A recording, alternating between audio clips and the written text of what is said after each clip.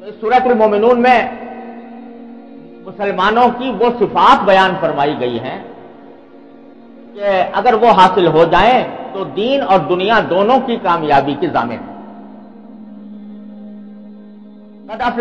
मुमिनून मैं पहले कुछ तर्जमा कर देता हूँ, फिर कुछ गुजारिश अर्ज़ करूँगा। कामयाब हो गए वो मोमिन। अल्लदीन हम फ़ी सलातिहिम खाशून जो अपनी नमाज़ में खुशो इख्तियार करते हैं।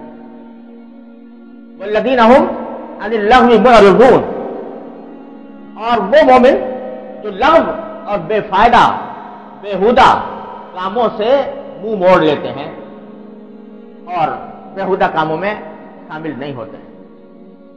वल्लदीन हम जक़ात फ़ाइलून। और वो मोमिन जो जक़ात के ऊपर अमल करते हैं, करने वाले हैं।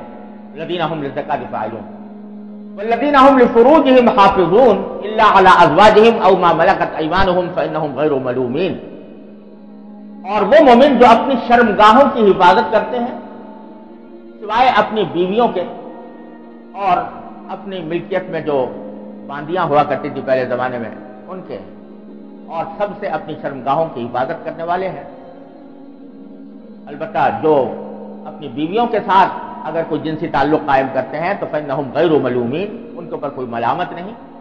वह मैंने तका बरा अगाली कहूलादून और जो बीवियों के अलावा किसी और से अपनी जिनसी ख्वाहिश किसी भी तरह पूरी करना चाहते हैं, वो उलाई कहूलादून वो हद से गुजरने वाले हैं।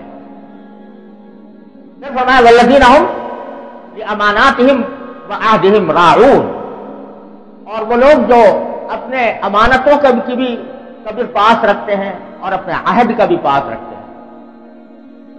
वल्लदीन हम बिशहादात हिम कायमून। और वो लोग जो अपनी गवाहियों पर साबित कदम रहते हैं जैसे गवाही देते हैं तो सच्ची गवाही देते हैं। ये वल्लदीन हम सलवातिहिम हाफिजून और जो अपनी नमाजों के अंदर की, की पूरी निगरानी रखते हैं उसकी मुकम्मल पाबंदी करते हैं। तो फरमाया उलाय के लदीना जरीसून फिरदौस।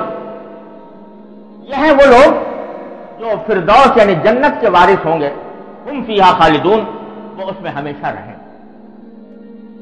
जो कुछ सुना गया, अल्लाह इस पर अमल करने वाला और आगे लोगों तक पहुँचाने वाला बनाए। मजीद इसलाही बयान के लिए हमारा यूट्यूब चैनल ईमान यकीन को सब्सक्राइब करें। जजाक